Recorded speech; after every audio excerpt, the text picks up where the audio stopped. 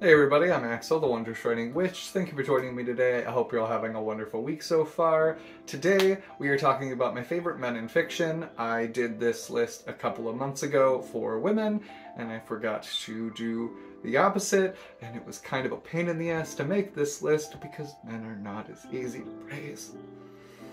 Even the fictional ones, just the majority kinda suck. I'm not sorry. Fix your male protagonists. Okay, fix them. And I'll have more for this list. Please and thank you. As always, I would love to chat with you guys in the comments about your favorites. And if you could please do all the other things to please the algorithm gods, I would be vastly appreciative. Otherwise, on to today's list.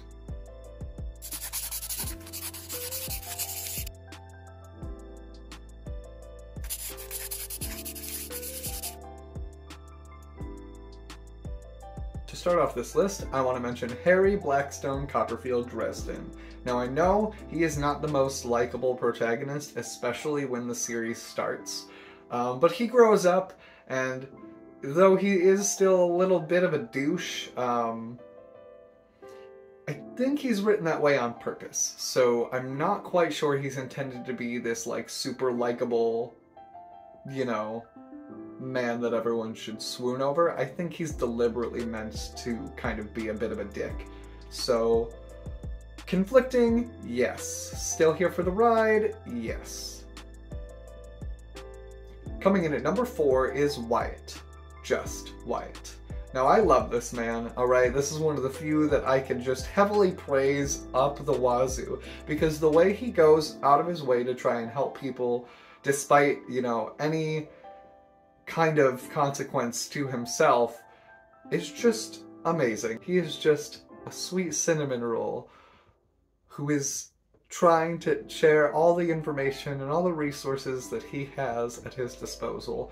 And I fucking love it. And he's great with animals, alright? A man that's great with animals? Mm. Mm-mm. Mm. I love it. I live for it. I eat it up like cheese. Give me more. Number three is Geralt of Rivia. Even before Henry Cavill made him the sexiest beast on Netflix, I really enjoyed the Witcher games and just kind of going along this journey of people absolutely hating this man for just existing even though he's saving all these people. It takes a tremendous amount for people to show him the bare minimum of respect. And I don't know why his journey is just so appealing, but it is. The fact that he's just gonna keep doing what he does best, slaying monsters and taking shit, despite all the shit he has to take, it's just, it's admirable. Coming in at number two is Ivan Gerhardt, aka Pseudonym, aka Fornax. I absolutely live for this guy. Normally, I do not like mentor characters too much because they're simply there to show the main character what to do and then die. But Ivan Gerhardt has his own character arc, has his own problems. The whole thing just, he feels like his own character. He is not simply the mentor, he is Ivan Gerhardt, aka Pseudonym, aka Fornax.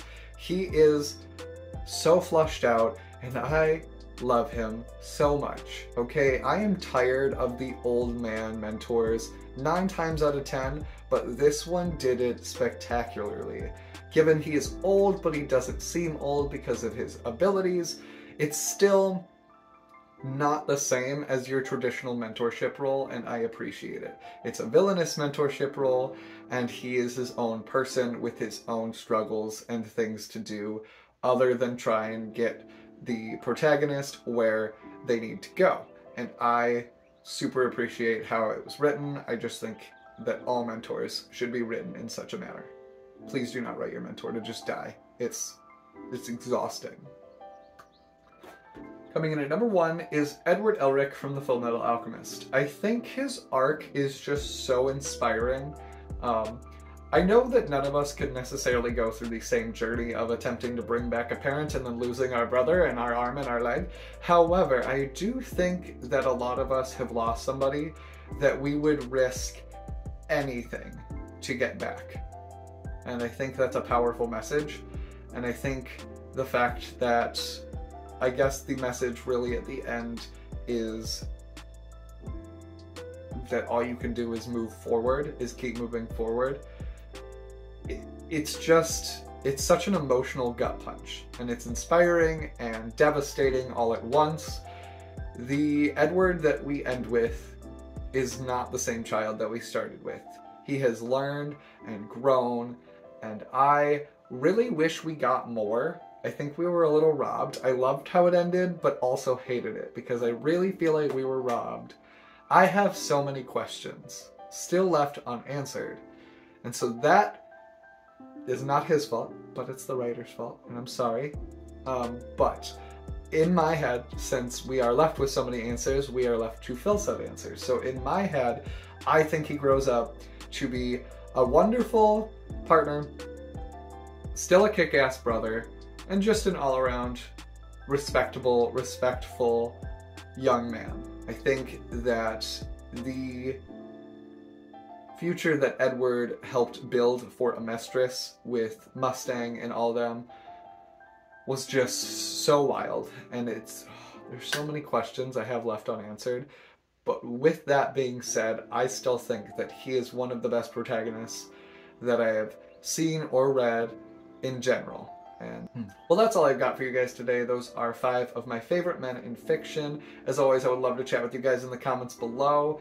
And until next week, spread all the love and joy you can. Bye.